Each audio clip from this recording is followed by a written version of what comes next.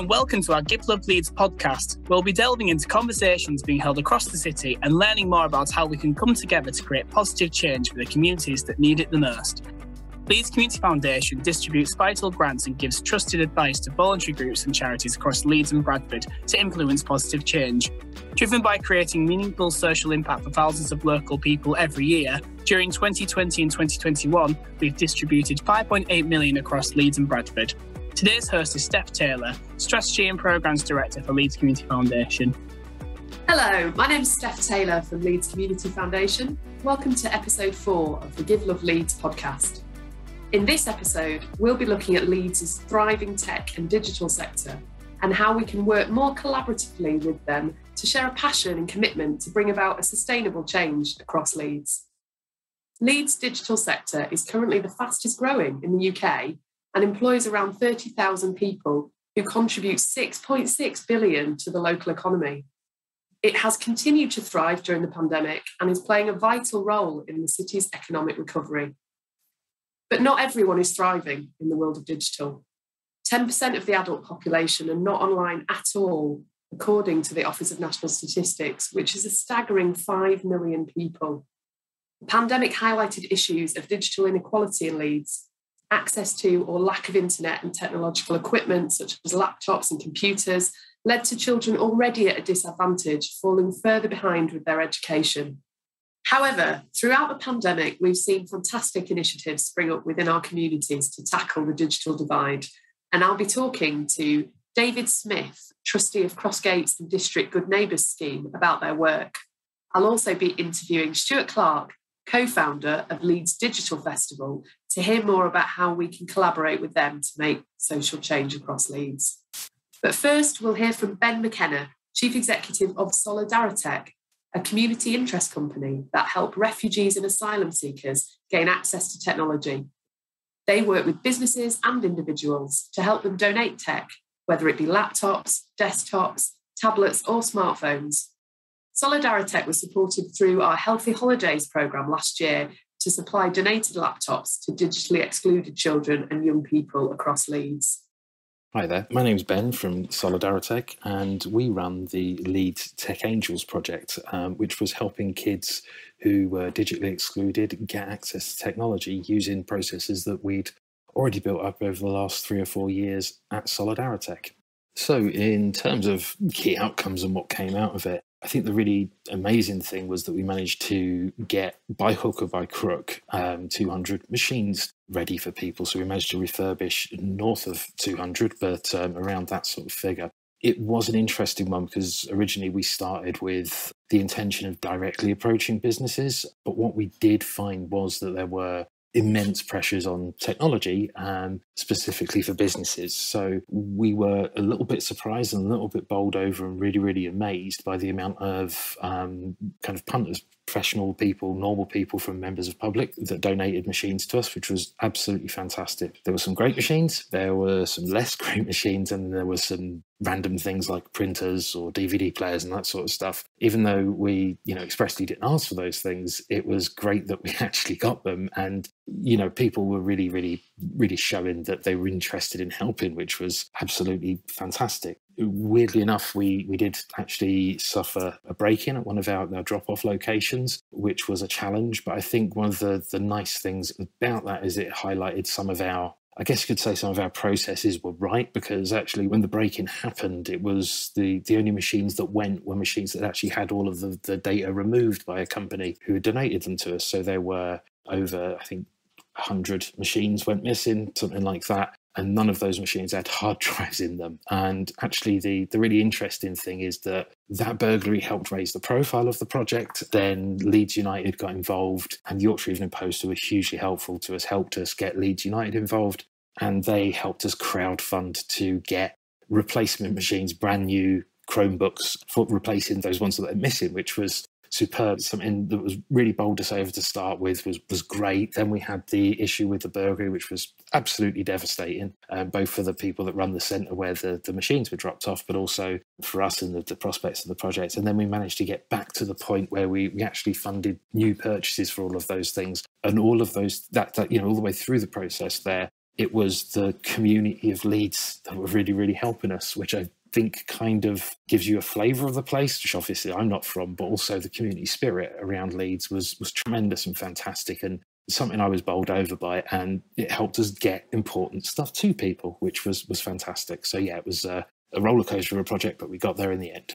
So the funding from Leeds Community Foundation was hugely important, and you know I think a lot of grant giving bodies or a lot of um, you know organisations that do charitable grants and funding might have a different approach, but actually um, it was LCF approaching us for this in a lot of cases and wanted us to do this, and there were a lot of reaching out to try and work out what the project could look like. Um, we were in the middle of COVID, so I think that was that was a real challenge for us. Um, but I think one of the amazing things is that every step of the way, LCF have been there to help us. Every step of the way, when we had a question, we had a representative from LCF ready to answer those questions and really supporting us. And it was really clear like a lot of organizations that give grant funding are just like, our job's to give you the funding, you do what you need. But actually, we were helping other parts of, of the LCF family, I guess you would call it. So obviously the benefits were you know kind of contained a little bit but the, the nice thing was is that the organization were really really helpful consultative friendly and you know a, a big part of setting that up in the first place. So it was a superb working relationship we had and something that we were really proud to be part of because obviously it wasn't a normal time. It was a, a, heavy time for everyone and the amount of support and i guess kind of family feeling about everything who we were helping how we were helping them was huge to us. So yeah, we, we couldn't have done it without LCF's involvement financially, but also, you know, emotionally and sort of empathetically. I think they were the huge things for us too. So I think the key take homes, the things that that we've I guess learned from the project is that Leeds is a rare city in terms of the amount of community participation that takes place. Um, the strange thing as well is that obviously this was all branded Leeds. Leeds United were involved, Yorkshire Evening Post were involved, but it, it, spread out across West Yorkshire, which I think was testament to the power of LCF. I guess there's obviously Give Bradford, which is a huge part as well, but it was wider than just Leeds and Bradford, places in Kirklees that were giving us machines. There were the places that we picked up up in the Dales. There were there were loads of help from lots of really good people. Our work, I guess you could say, goes on. Um, it, we were I guess, kind of very small before the, the pandemic and we're still small now. We've moved on a fair bit in terms of, of what we do and how we do it because we've learned from that. And Tech Angels was a huge part of that. It opened doors for us to get into front of big businesses to help them recycle their technology. We're still receiving Tech Angels offers now, um, you know, a full sort of nine months after we, we launched the project over Christmas. So it's been huge for us. I think the, the there are things that we can do uh, which is mitigate the issues of the of the, the, digital divide. But I think the key thing for us is that it's still there. It's still an issue. Um, COVID hasn't gone away as much as we'd like to think it has. So there will be lockdowns. There will be kids that are isolated, and there will be more need for these devices. We've certainly seen it in the asylum refugee community, asylum seeker and refugee community that we served beforehand and we continue to serve now. That you know, the with poverty comes digital exclusion for for a lot of people. If it's a choice between eating and broadband or paying for a laptop, yeah, of course you're going to go for eating. You're going to go for heating. You've got to keep your kids fed and your kids warm. So I think the issue that we're set up to deal with hasn't gone away. And, you know, realistically, we can't solve that issue. We can just mitigate it for specific people. But I think we would like to, to take the, the, the project forward. We would like to spread things out wider. I think everyone is probably fatigued from from the the tough couple of years that we've had COVID wise. But I think the really important thing is the way that the community have come together, the way institutions in Leeds, you know, everyone from big businesses, financial services, and legal businesses that really really helped us out, tech businesses helped us out, and also you know sort of the institutions that that I think we probably think of, of that Leeds has, you know, nationally, I guess. So, you know, things like um, the, the Evening Post and the Yorkshire Post, things like Leeds United, those those sort of things are really, really key to to how we kind of go forward and how we build that model. I mean, I'm not a fan of the idea of big society, but it is nice that we do have the ability to do that between us, between all the parts of society,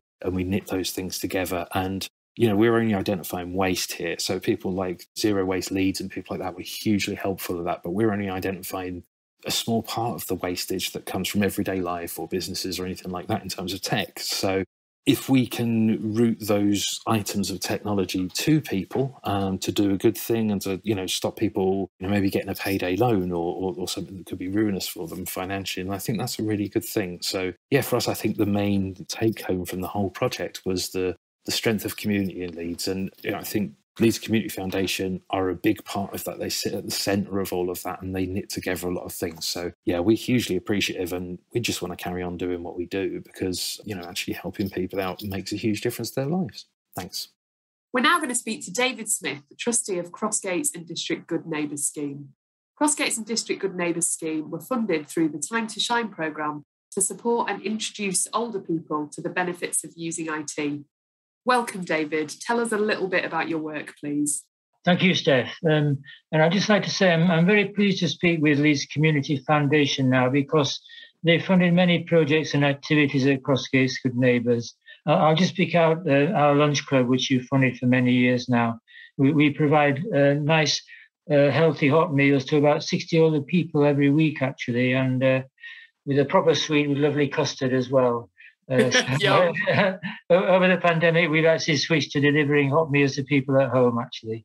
Well, of course, everyone understands nowadays that more and more things are going online. And there's lots of things that you can really only do or access online nowadays. And there's a great danger that some people, mainly older people, will become what's called digitally excluded because of that. So many older people have never had to use computers during their working lives. And, and so they, they may feel a bit anxious about technology.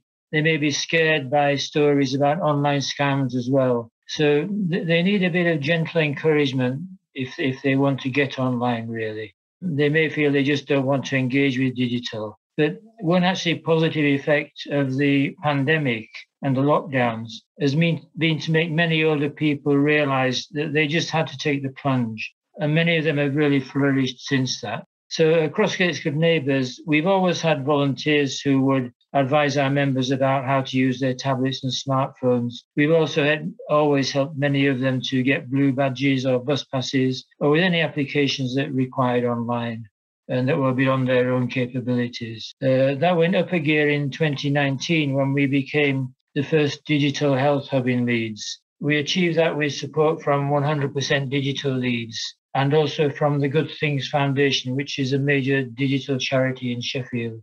Uh, I should mention here that Rachel Ben of 100% Digital Leeds is a really inspirational figure, not just in Leeds, but nationally, actually. And she's been behind a lot of what we've achieved. For example, she arranged for supplies of tablets for our learning classes. As a result of that, we now have a lend and buy scheme so members can rent a tablet from us and eventually buy it if, if they want to. It's brilliant just to hear there about the different funding streams that you've had, you know, for your work. You mentioned Good Things Foundation, and I know a lot of our other community groups will be really, you know, interested to hear that and, and to hear a little bit more about that. And of course, everything you've um, you've partnered with us on at Leeds Community Foundation. So that's really helpful. I wonder, could you tell us a little bit more about the intergenerational aspects? Because you've talked there quite a bit about older people in the community. What involvement did younger people have?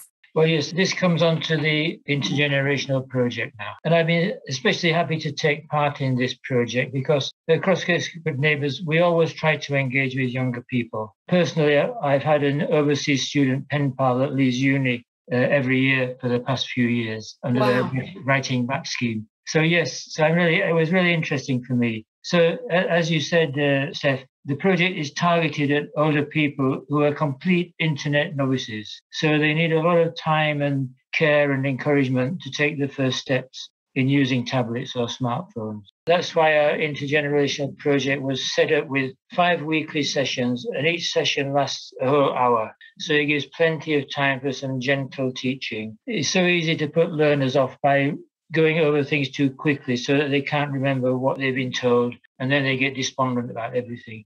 So it's really important to take the time to do it carefully. We paired up uh, one older person with one student. So each pair was given a tablet with uh, an internet connection. And the students began by just gently teaching the older people how to play games on the tablets. So they learned how to how to do tapping and swiping which which they've never done before. So that's the first thing you need to know before you do anything else on a tablet or smartphone, really. Yeah. We had some lovely college students and one university student on our first iteration. Um, I think that on future runs of the course, we'll have more university students as they come back for the new term, you know. All the, all the students were great and with plenty of time to take, you know, they, they took everything very nice and slowly and played the games with the older people. And then on, on future weeks, they could move on to showing them different things about how to use tablets or smartphones. What kind of games did they play? They played one very easy crossword game where, where you had to swipe and choose um, the next appropriate word for the crossword. I forgot what it was called. I played it myself, but it was really nice and easy. But it was really good for showing them how to swipe and tap on the, on the tablet. Yeah, sounds yeah. good. Yes. So I, I was one of the older participants myself, actually, because yeah, you might not believe this, but I've got very limited working knowledge of tablets and smartphones myself. Um, I, I, was actually a scientist, so I've been involved in computers even from the 1970s, even before the IBM PC and Microsoft came in. But I've never made the jump to smartphones myself. I've still got an old Nokia mobile phone. so I did actually learn a lot myself on that course. It was really very interesting, you know, doing it with a student as well. Yeah. Learning what the NHS COVID app looks like and things like that. Because obviously I've never done that. They, they don't realize that lots of people can't do that app because they don't have a smartphone. Tell me a little bit about how many other people there are in the community that you know that need this sort of help. What what is the need for these sessions? Well, there, there are plenty because um, with with our digital um, coordinator and, and her digital volunteers, uh, during the pandemic, we, we trained, um, I think, well over 50, probably more uh, people just to be able to get onto Zoom. And, and, we, and we trained a lot more in IT and digital, where, where we've got uh, big programs now for IT and digital training. But, you know, during the pandemic, just to be able to get on Zoom was a big thing when people were shielding at home. Uh, and we set up a, a, weekly program of digital activities, bingo, uh, quizzes, coffee mornings at the start, although we've stopped those now. Uh, we've got uh, online exercise classes and uh, a, a, book club as well. And they're still going actually because people really have appreciated them. And of course, the great thing now is that now people know how to contact each other on Zoom. They'll be able to do things at evenings and the weekends, which are the loneliest times, but they're the times where full time staff really, we can't deploy them. So that's been one of the positive things about the lockdown. Um, that's fantastic to hear, you know, and I think that's that's been across the generations that people have found new ways to connect in different times and in different ways. You know, those virtual coffees are happening, virtual pubs are happening all over the city still, which is brilliant. I'm sure it's going to continue. And as I say, it's especially useful in evenings and weekends, especially for our older members. I think it's, it's going to be really good, actually. Could you tell us a bit about any key highlights or the impacts on any individuals? Well, yes, I was going to tell you that um, I, I, do volunteer befriending with Crossgates Good Neighbours. Uh, that's on the SWIFT program in Leeds. That's aimed at people who are at risk of loneliness and isolation and also have particular health issues that contribute that, you know, prevent them from getting out by themselves and things like that. So my befriendee actually um, became another one of the participants on the course with me. So we could both go to the course. I could accompany him to the course. And also, he just got his own smartphone as well. So it was an ideal time for him to learn something about using the smartphone. And he had a great time meeting everyone. And uh, he really enjoyed the sessions with, with the students. They were really kind to him, actually. It was really good. Yes, I think the intergenerational project is really meeting its its commitment to introduce these older people to the internet and get them started. Those who want to then can progress on to further IT training with Crossgates Good Neighbours. Uh, our digital coordinator has got a whole team of volunteers now who deliver digital training. It's it's one to one, either either online or one to one in our office now, because we're starting at one to one meetings again. Alternatively, they, they can just join our weekly digital program and, and enjoy the quizzes and book clubs and things like that. Uh, it's up to them really. But a lot of uh, older people have really flourished with the um, digital under the lockdown. And we also have a, a, media worker now called Ellie Dawson, a, a journalism graduate, who, who, develops videos and, and uh, interviews about our activities and our members actually. She's put a, a, lot of those on our new YouTube channel. At Crossgates Good Neighbours, we've got a YouTube channel. You can find lots of videos on there. And also, Samantha Haggart has, has made a, a whole series of training videos which show people in a very gentle way how to use Facebook, how to use. Oh, fantastic. And of course, the great thing about videos is you can go back and, and replay them and replay them just to make sure that you've learned properly. So yeah. the, if you look at our YouTube channel, you'll find that there's a whole host of videos there which people can use. We provide them for other neighbourhood networks as well, of course. There's lots of brilliant things happening in Leeds, um, and obviously lots of fantastic work that you're doing at Crossgates and District Good Neighbours scheme. What what do you think are the gaps? You know, what what still is the digital divide looking like? I think it's just a question of finding the people who are still digitally isolated, really. You know, just just finding them. It's the same as finding the um, disadvantaged people um, anywhere who haven't who haven't connected with the statutory services at all. Um, one good thing that happened with the uh, lockdowns actually was that through the um, the, the, COVID helplines that, that um, Leeds City Council instituted, they did get calls from people who hadn't been in touch with the services before just because they needed help. And they, they were referred on to us. So we, we've got quite a few new members through that, you know, uh, we wouldn't have found before. So that, that's been a good thing for us, actually. That's great. That's great. And, you know, community organisations, as we've heard so many times on the podcast are really at the centre of that outreach and, and building connections in communities that lead to people being able to use statutory services and get and get other support. So it's brilliant to hear that come to life, David, in what you've been saying. It's been brilliant to chat to you. Just before you go, I would like to ask you about being a trustee because um, you know you talked about how you used some of the support available in the project, but you're also you know you're also on the board of the organisation as well, and um, lots of community groups we speak to struggle to get really brilliant trustees because it's a voluntary role, isn't it? And you've given up so much of your time for the organisation. What's what's that been like for you? Yes, it is voluntary. Um, I joined Crossgates Good Neighbours um, after I'd um, I'd been looking after my parents. Actually, I, I, retired back to Leeds to do that. But after they'd both passed away, um, some of my neighbours in my street said, obviously thought I needed to find something new to do now. So they, they advised me to join Crossgates Good Neighbours, and I did that. And uh, I really liked it, and I very soon I realised that a lot of the um, members there do some volunteering. We've got well over 100 members who do volunteering of different sorts. And uh, I, I, started to do the befriending then. Uh, I got involved with the Time to Shine project through that because with my scientific background, I was interested in the evaluation that they were doing. And then uh, Joe Horsfall then invited me to become a trustee at Crossgates Good Neighbours. So I was happy to do that because the great thing about volunteering is that you know when you've accumulated a lot of experience and skills during your working life. It's nice to be able to give it back really. Uh, i was a scientist and uh, i used to do lots of regulatory affairs and so uh, preparing documents and things like that. It's right up your street. No, it's no problem for me so, so i'm very happy to do that sort of thing. And i've got all the time in the world because being retired now i can just decide what i like to do really. And it's brilliant to have you know that lived experience of being somebody who benefits from the work of the organisation sitting on the board of it you know that i think that's really important. And you know all community organisations benefit from having people with very diverse and different experiences but particularly people who are really connected to the cause. So thank you for doing that and being one of the brilliant number of people across leeds that keep our sector going.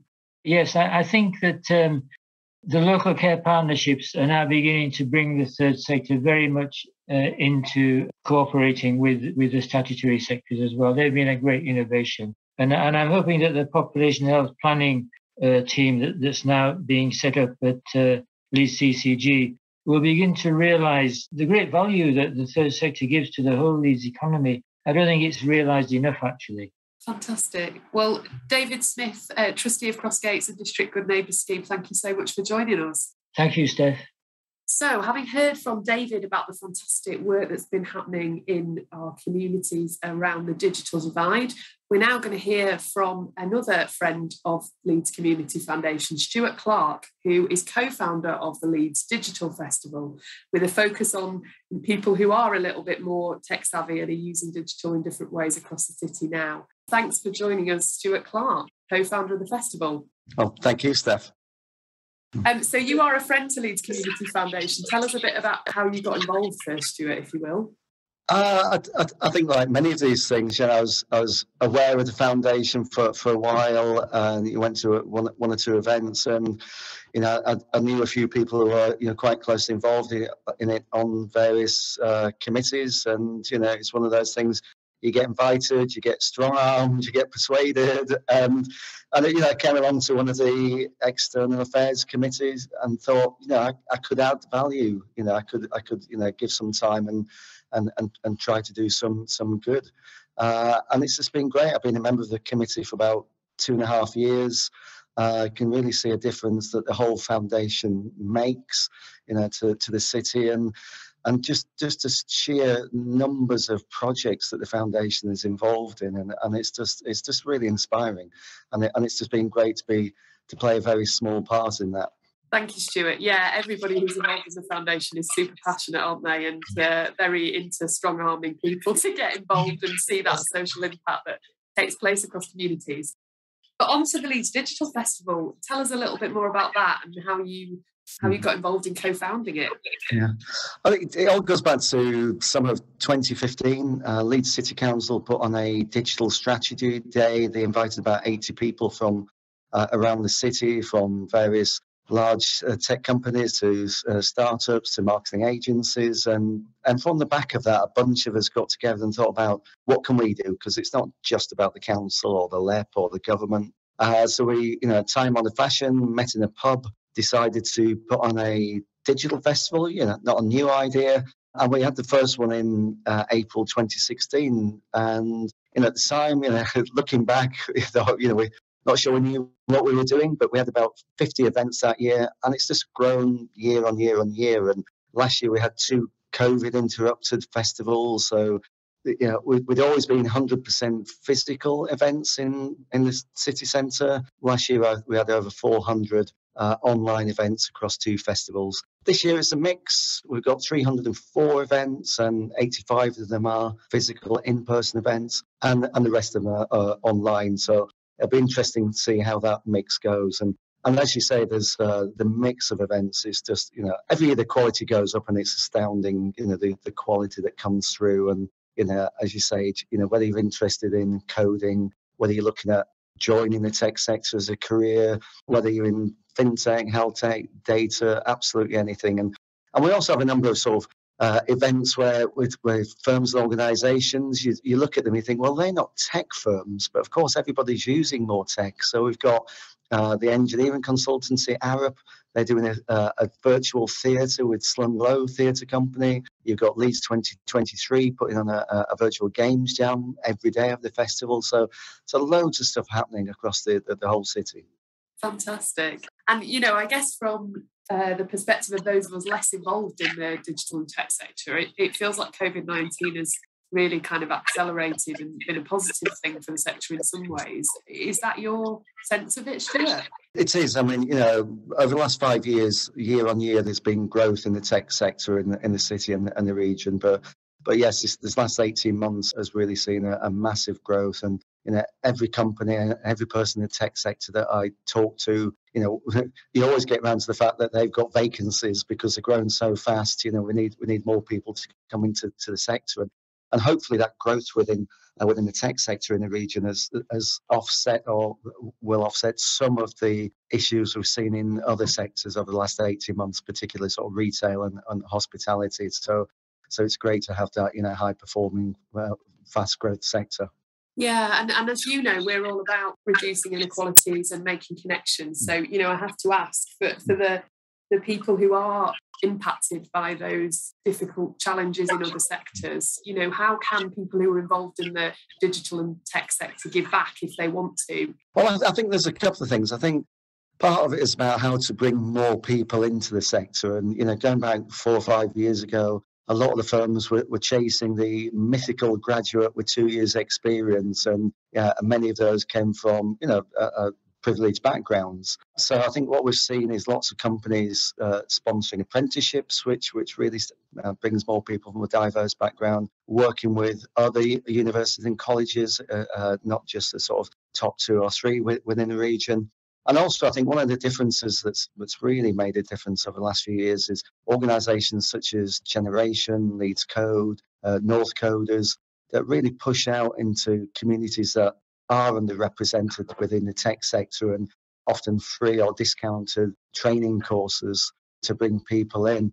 And on the flip side of that, I think there's more social awareness in the sector as well. So individuals and companies are looking around at, their own organisations and thinking, well, perhaps we don't represent the, the cities and the communities in, in which we live. What can we do about that? And some of that is uh, being making more positive steps to bring people into to training courses and things. Another is, you know, let's look around and, and look at uh, organisations that are doing some really good work anyway, uh, and seeing how we can support those. And you know, and again, in the last couple of years, I've probably had more conversations with people about the foundation that they've initiated instead of me going and say, "Hey, let me talk talk to you about this amazing organisation I'm involved with." So I think I think there is much more social awareness.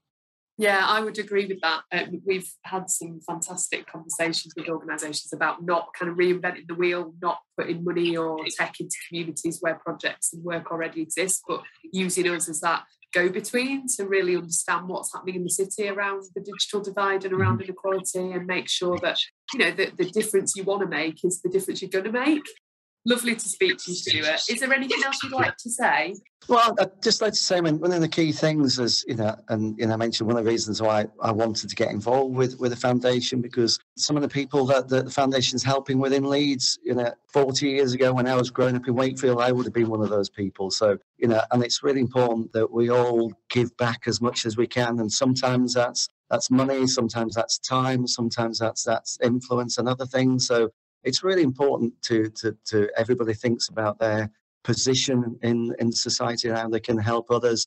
And as I mentioned about people being more socially aware, and that's a real key thing from just, just even three or four years ago. I think people are thinking, yeah, how can we make our communities in, in which we live fairer and more inclusive? So I'd, I'd recommend anybody to get involved with the foundation in whichever way they can. We will certainly let people know how to do that later on in the podcast. But um, for now, Stuart Clarke of Platform and co founder of Leeds Digital Festival, thank you very much for your time. Thank you, Steph. Well, it's been a real privilege as ever to meet some inspiring folk doing great things across our brilliant city of Leeds. COVID 19 has exacerbated the digital divide. Many of the community groups we partner with are seeing real challenges as a result. However, much of it has also been positive, creating wealth and energy in the tech sector, as we heard from Stuart, but also new opportunities to learn and develop new skills and connections, as we heard from David. If you're out there thinking, I could do more to make a difference, or my business could really make an impact as a member of Leeds Community Foundation to make Leeds more inclusive, get in touch with us on membership at leedscf.org.uk. Thank you for listening and thank you so much, Ben, David, and Stuart, for joining us for this episode of Give Love Leeds. If you enjoyed this episode, take a couple of seconds to rate it on your favourite podcast platform. Don't forget to follow us on Facebook, Instagram, and Twitter, and subscribe to our newsletter on Leeds Community Foundation. You can also visit our website at leedscf.org.uk. Feel free to email us at info at leedscf.org.uk. Speak to you soon for the next episode of Give Love Leeds.